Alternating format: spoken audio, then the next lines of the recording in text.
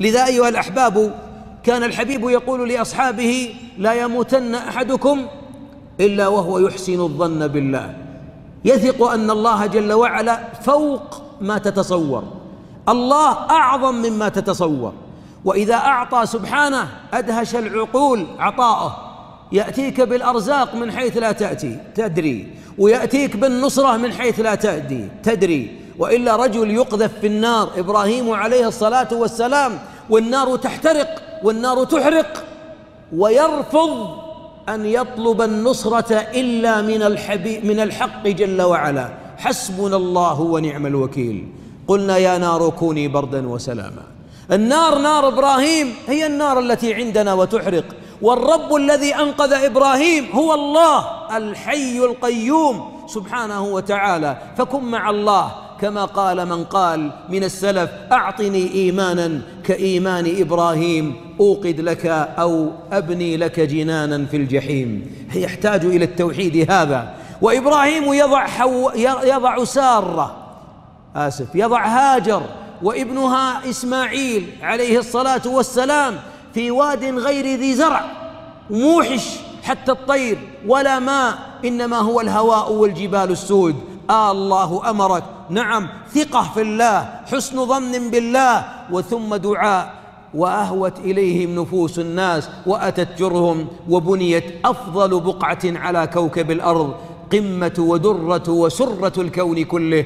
مكة التي أتى إليها الناس من كل فج عميق. كان عنده الثقة وهو يضع أبناءه أن الله جل وعلا سيؤويهم وسيغذيهم وستجبى إلى تلك البقعة ثمرات كل شيء. موسى على الماء والجيش فرعون خلفه والجبال على الميامن والمياسر والماء والماء رهو والماء له خفقان وأمواج وكلهم إنا لمدركون. يتقدم الواثق ثقة بالله حسن ظن بالله متفائل بوعد الله كلا إن معي ربي. سيهدين يضرب البحر ثم ينفلق. إنها الثقة في الله. ووالله وتالله لو أن عبدا وثق بالله ثقة الأنبياء في ربهم جل وعلا. والله لا يغلق عليه باب. والله لا تمر على قلبه كربة. والله ما تدمع عينك حسرة. تدمع شكر وحمد وثقة وسعادة. لكن أين معين التوحيد في بعض القلوب المتضجرة؟ والتي وقفت على سواحل الأحزان وتقول إنا لمدركون. ضاع كل شيء. راح المال راحت الصحة. يا أخي الله لا يخلق شرا محضا. الله له في كل أخذ وإعطاء حكمة. الله قد يحب عبدا فيأخذ منه ويبغض عبدا فيعطيه. الله جل وعلا أخذه عطاء. والله جل وعلا لو أن عبدا تضجر من أخذ الله لعينيه أخذ الله لماله أخذ الله لولده أخذ الله لبعض بدنه قطعت أقدامه ذهب ماله تحرك لسانك بالحمد فإن الله يراك ويرى مكانك ويسمع كلامك ويسمع أنينك ويرى دمعك ولكن منزلتك عالية فصب عليك البلاء يبتلى المؤمن على قدر دينه. يبتلى المؤمن المؤمن الأمثل فالأمثل. من كان في دينه صلابة كان البلاء عليه أكبر. لما؟ لأن أولياء الله ما رضي الله أن تكون الدنيا عطاء لهم ولا دار لهم. ولذا محمد عليه الصلاة والسلام عليه الصلاة والسلام ما أعطي من زهرة الدنيا شيء. ما أعطي شيء. بيته ثلاثة متر ونصف في مترين ونصف بيته كبيوت الناس بل أصغر من بيوت الناس. لماذا ما أعطاه؟ أحد ذهب. لماذا ما قلب الصفا ذهب؟ لماذا ما أسال الأودية له ذهب؟ لأن الله أحبه.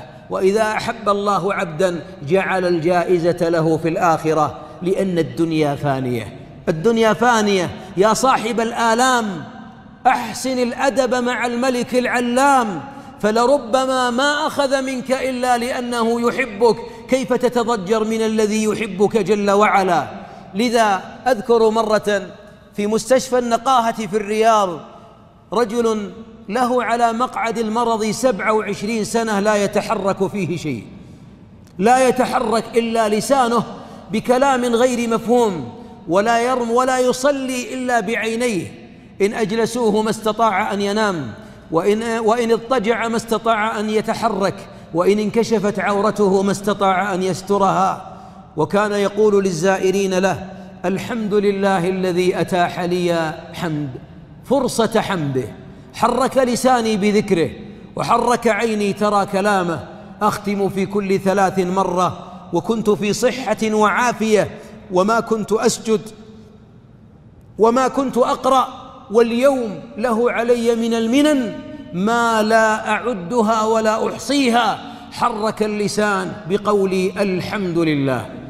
لا يتحرك إلا لسان وبه لكنة وثقل وعين يصلي بها وينظر بها ويحمد الله. إن العبد الذي يرى فيها يرى أن الله إذا أخذ منه إنما لأنه يريده. يريد أن يسمع ردة فعلك فالمتفائل يعلم أن الذي أخذ أخذ منه بإرادة الله بمشيئة الله بقضاء الله بحكم الله الله إذا قضى وحل قضاؤه فلماذا تجزع؟ فإنما هذه الأقدار يعني بعضنا يغضب لو فعلت كذا لكان كذا ولو تقدمت قليل لما كان كذا ولو مسكت فرامل ما صار حادث ولو ما ضربتها ما صار طلاق ولو بعت الأسهم قبل سقوطها لما افتقرت لو لو لو هذه أداة الشيطان. هذا مفتاح أبواب الشيطان. قدر الله وما شاء فعل. وكما قال بعض السلف لو أن الله كشف لك سجف الغيب أنت الآن تكره أن قدمك قطعت أن ابنك مات أنك فصلت من الوظيفة أنها طلقت أن المال ذهب أن العين ذهبت السكر جاء والضغط جاء والكوليسترول جاء وجلطة وبعد جلطة وآلام وتعب في البدن. لو قيل لك انظر وكشف لك الغيب ورأيت مواقع قدر الرحمن لك والله ما يختار عبد إلا ما اختاره الله له. والله ما تختار إلا اللي اختار الله لك.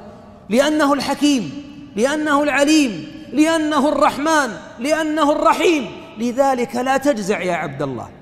لا تجزع. طب نفسا إذا حكم القضاء. واعلم بأن الله حكيم. سبحانه وتعالى لا يعجزه شيء في الأرض ولا في السماء. وما وقع فوق ملكه كان بإرادته وكان بعلمه.